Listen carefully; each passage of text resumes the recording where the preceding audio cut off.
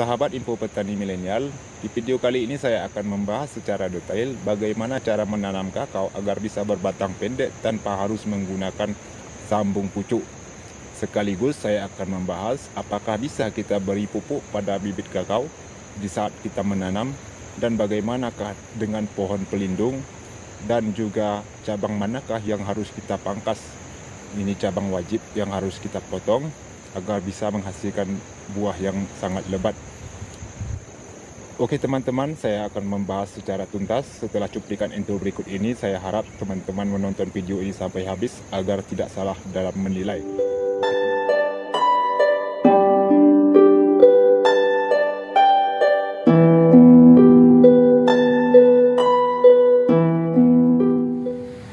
Assalamualaikum warahmatullahi wabarakatuh, sahabat info petani milenial. Selamat menikmati buah kakao lokal menjelang musim panen selingan. Semoga rezeki yang diperoleh ada berkahnya agar dapat kita manfaatkan kepada jalan yang baik. Sambil berteduh, saya akan menjawab pertanyaan Ahmad Jumadi di kolom komentar pemangkasan kakao. Beliau sudah dua kali bertanya, tapi sayangnya saya tidak bisa menjawab. Saya juga tidak tahu kenapa, mungkin YouTube lagi error setiap saya klik komentar beliau dikatakan tidak tersedia. Saya juga tidak tahu. Saya rasa YouTube lagi error. Dan saya akan menjawab melalui video ini yaitu cara menanaman kakao lokal tanpa sambung pucuk namun bisa berbatang pendek sekira-kira 50 cm dari tanah seperti ini ya teman-teman. Oke sahabat petani, eh, saudara Ahmad Jumadi, Semoga video ini bisa bermanfaat untuk saudara, khususnya teman-teman pecinta kakao lokal. Untuk pemilihan bibit kakao lokal, yaitu biji dari batang, saat pemilihan biji, usahakan jangan ambil buah yang bagian atas.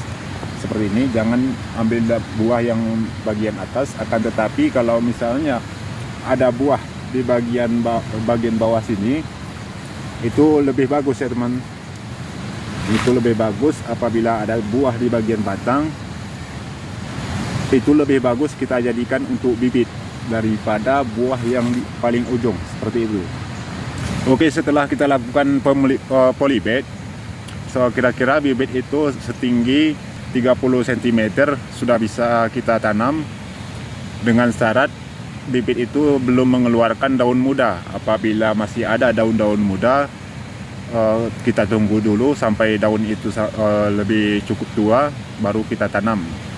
Kenapa saya sarankan penanaman sekitar tinggi 30 cm? Karena setelah kita tanam nanti akan tumbuh kembali sekira-kira 10 sampai 15 bahkan sampai 20 cm setelah kita tanam. Baru bis, uh, kakao itu mengeluarkan cabang. Jadi oh, ketinggian kakao kita bisa mencapai 50 cm dari tanah. Begitu ya teman-teman.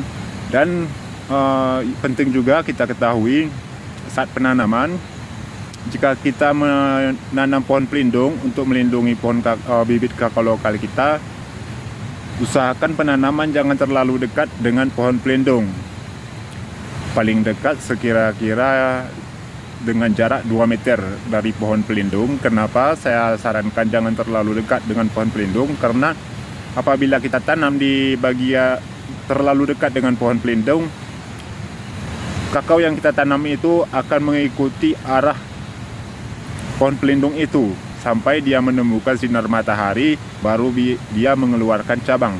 Itu kemungkinan akan mengakibatkan pohon kakao kita itu terlalu tinggi dan sulit untuk melakukan perawatan. Seperti kakao yang ada di belakang saya, teman-teman, ini terlalu dekat dengan pohon pelindung, yaitu batang pete yang saya jadikan pohon pelindung. Akhirnya pohon kakao yang satu ini tumbuh sangat tinggi sehingga sangat sulit untuk melakukan perawatan. Dan sekarang pohon pelindungnya sudah saya bunuh dengan cara mengikis seperti ini dan saya ganti dengan pelindung yaitu pohon pinang pohon pinang ini menurut saya sangat cocok kita jadikan pohon pelindung karena dia tidak terlalu limbun dan tidak mengganggu tanaman kakao sekaligus bisa menambah penghasilan dari perkebunan kita untuk cara penanaman pembuatan bibit pohon pinang ini tanpa disemai sudah saya akan link videonya di kolom deskripsi video ini. Bisa langsung dicek dan kita jadikan sebuah itu sumber penghasilan tambahan dari kebun kakao kita. Dan penting juga uh, diketahui teman-teman sebelum kakao itu mengeluarkan cabang jangan kita paksa pertumbuhannya melalui pemupukan. Nah ini penting ya teman-teman karena apabila kita paksa kakao yang kita tanam ini tumbuh subur, kita beri pupuk saat penanaman, ini akan berisiko pohon kakao ini akan terlalu tinggi. Karena dia akan terus uh, fokus uh, dengan pertumbuhan batang sehingga lupa mengeluarkan cabang. Begitu ya teman-teman. Di saat penanaman, jika memang tanahnya kurang subur, kita kasih dolomit saja lebih dahulu. Sudah cukup apabila nanti setelah sekira-kira umur tiga bulan dia sudah mengeluarkan cabang. Apabila sudah bercabang, baru bisa kita rawat dengan pemberian pupuk. Baik itu melalui semprot maupun pupuk tabur. Dan ini contoh, salah satu contoh apabila pertumbuhan kakao itu sebelum mengeluarkan cabang kita paksa pertumbuhannya dengan pemberian pupuk sampai cabangnya setinggi 180 cm setinggi saya. Bagaimana saya melakukan perawatan dengan kakao setinggi ini dan terpaksa saya melakukan sambung samping. Begitu ya teman-teman. Jadi saya sarankan di saat pertumbuhan sebelum mengeluarkan cabang jangan dipaksa pertumbuhan dengan cara pemupukan. Bisa berakibat seperti ini. Ujung-ujungnya kita lakukan sambung samping kembali. Kan sayang. Oke teman-teman. Dan ini penting juga teman-teman setelah umur 3 tahun 3 tahun cabang utama yang tumbuh ini saya potong ke setinggi saya sekira-kira itu 180 cm tujuan pemotongan ini saya beri, uh, lakukan supaya cabang utama ini tidak akan memanjang sampai ke atas sehingga nanti akan terlalu berat bebannya nanti bisa mengakibatkan ini akan patah mengarah ke kakao yang ada di sebelahnya. Jadi dengan pemotongan ini cabang utama akan selalu tegak begini teman-teman.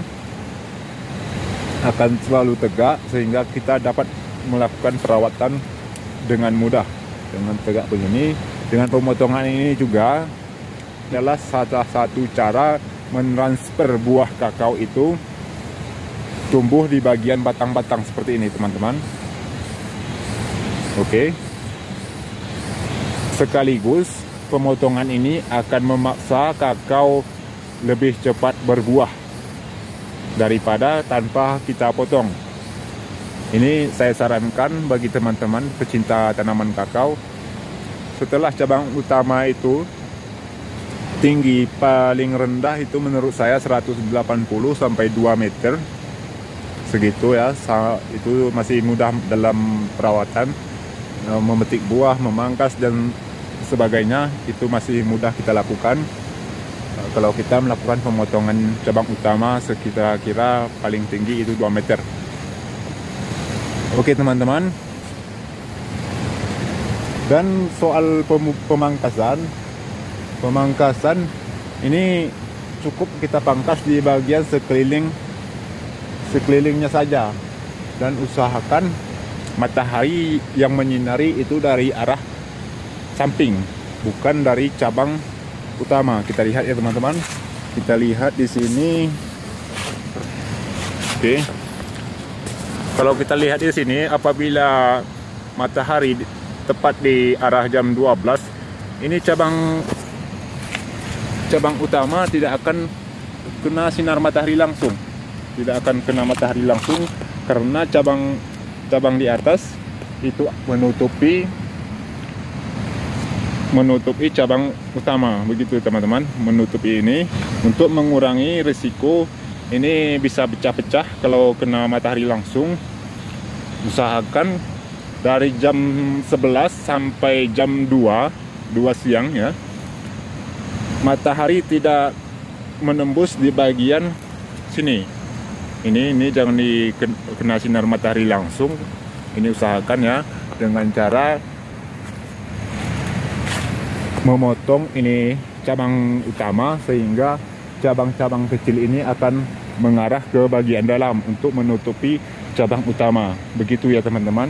Inilah keutamaan salah satu keutamaan uh, pemotongan tangkai uh, cabang cabang utama ini. Oke, ini saya potong setiap cabangnya teman-teman. Ini saya lihat. Oke, ini sudah saya potong dulu dan ini sudah mengarah ke bagian dalam. Oke, mengarah ke bagian dalam. Kita lihat. Nah, semua cabang-cabang kecil itu mengarah ke bagian dalam sehingga di bagian samping-sampingnya ini sudah terbuka, sudah bisa disinari oleh matahari dari samping, dari arah samping, oke? Apabila nanti uh, sudah sore, baru dia kena sinar matahari dan matahari pagi juga dapat menyinari buah-buah ini sehingga mengurangi risiko busuk buah, buah membatu, dan juga kanker batang. Begitu ya teman-teman. Oke teman-teman. Semoga video ini ada manfaatnya untuk teman-teman semua khususnya pecinta kakao tanaman lokal dan juga tanaman sabung pucuk saya sarankan setelah tinggi begini lakukanlah pemotongan. Pemotongan ini tidak harus penanaman kakao lokal akan tetapi untuk tanaman kakao sabung pucuk juga semestinya kita lakukan pemotongan seperti ini. Karena dia akan uh, apabila terlalu panjang dia akan uh, mengarah ke bawah teman-teman. Mengarah ke bawah karena terlalu berat di atas. Oke begitu ya teman-teman. Semoga video ini bermanfaat untuk teman-teman khususnya teman-teman yang menanam kakao tanpa sambung pucuk